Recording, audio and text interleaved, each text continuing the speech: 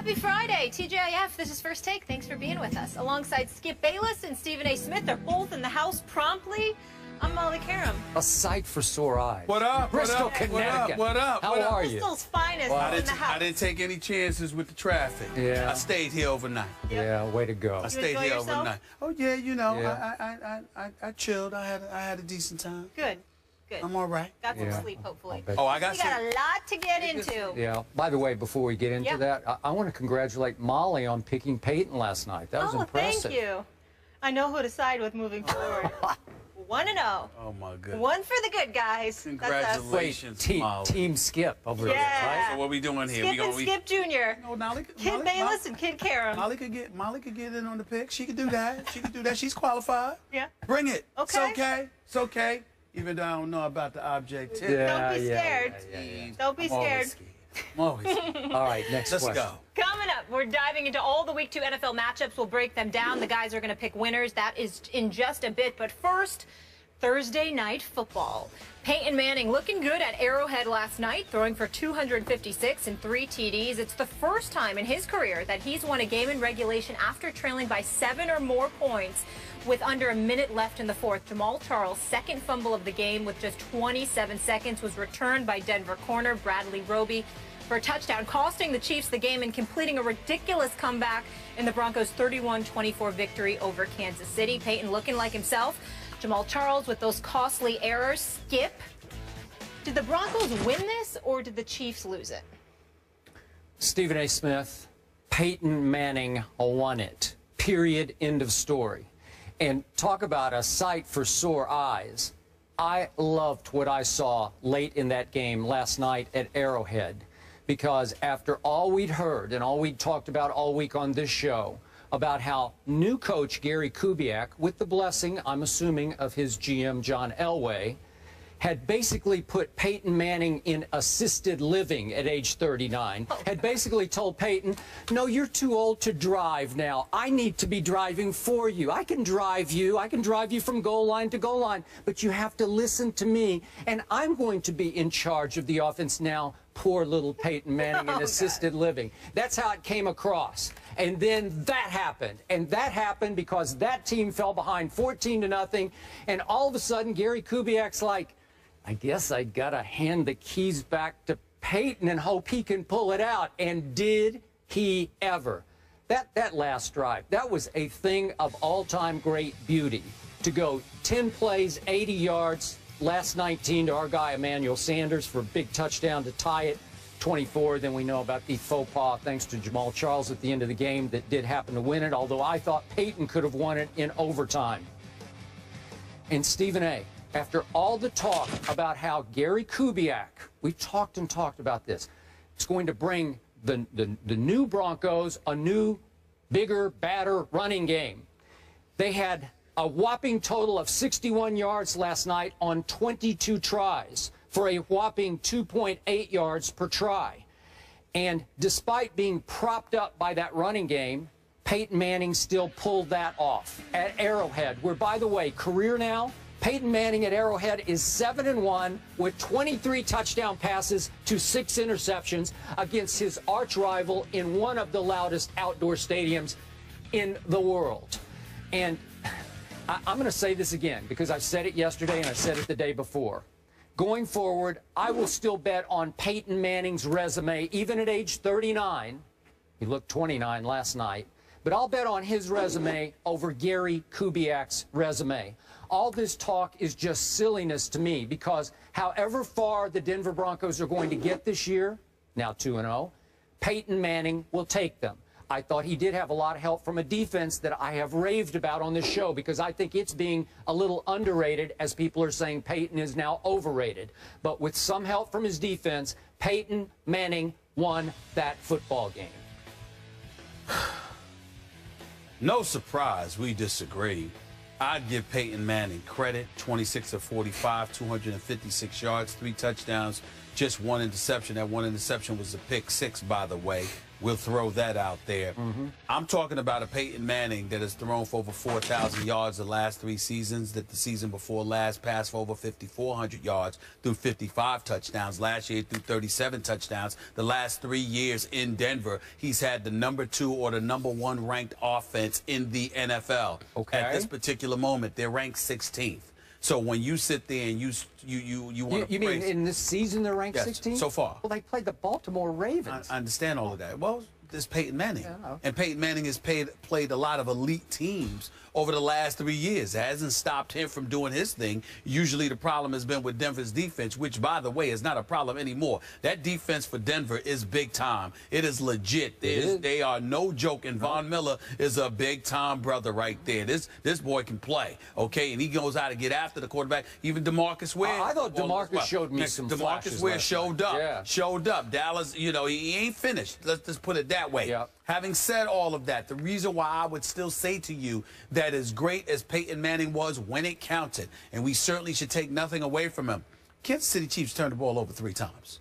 I mean, they had, three fumbles for crying yeah, out loud. I mean, five, five times. Yeah, but because you had Alex yeah. Smith throwing right. a couple of interceptions, you had the three fumbles on the part of Kansas City, two by Jamaal Charles, who I thought played lights out. Really actually felt sorry for him because the brother was running the, the football well, very, can't. very well. It's just unfortunate that he ultimately, you know, lost, you know, lost the ball. They they said he was carrying it yeah. loosely. Roby pointed that out that they saw yeah. him carrying the ball loosely all night long. Yeah. So they knew that they had an opp- they would have an opportunity to get their hands on a football or punch the football out of his possession, and that's exactly what they did. Uh, but I'm going to sit there and say Kansas City lost it not just because of the turnovers, but yet again, what did they do?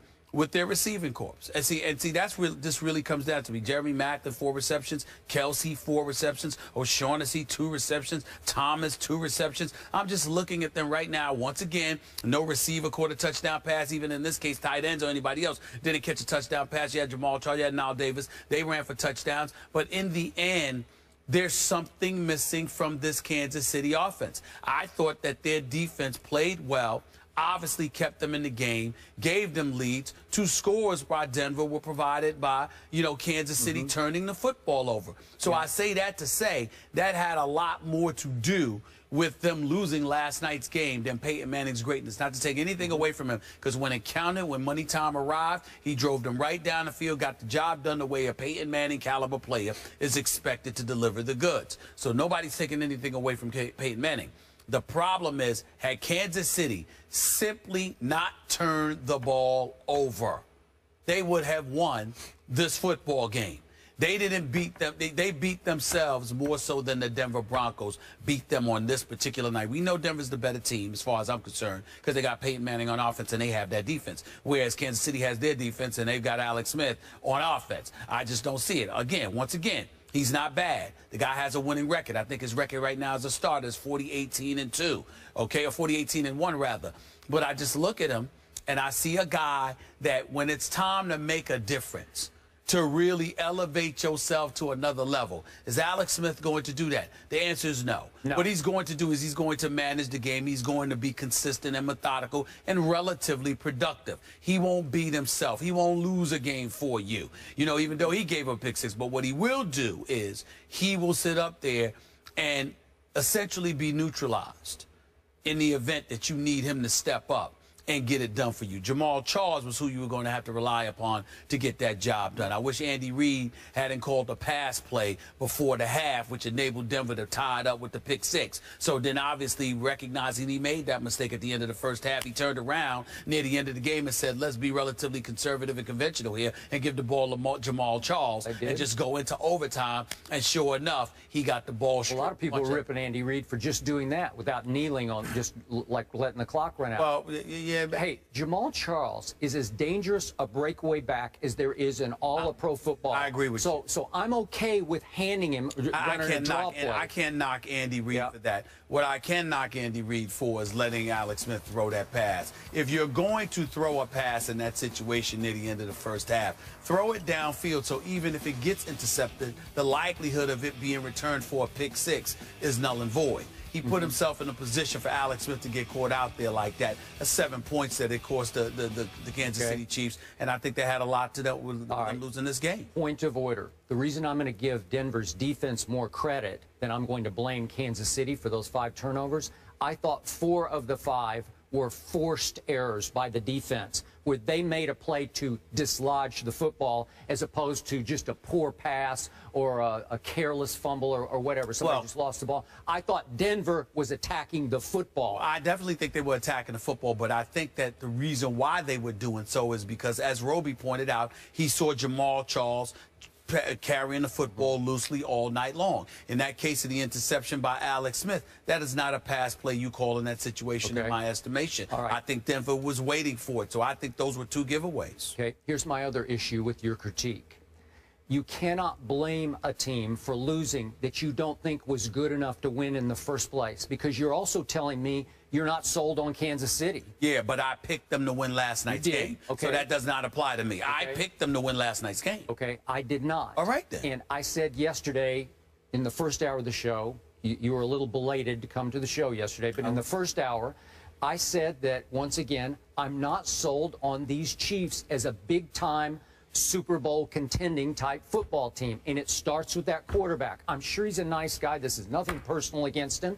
They were 0 for 7 on third down at home against your arch rival. You're going to have a hard time winning the football game when you're 0 for 7, especially when you turn it over five times. But it all comes back to an Alex Smith, and you just said it. He's okay.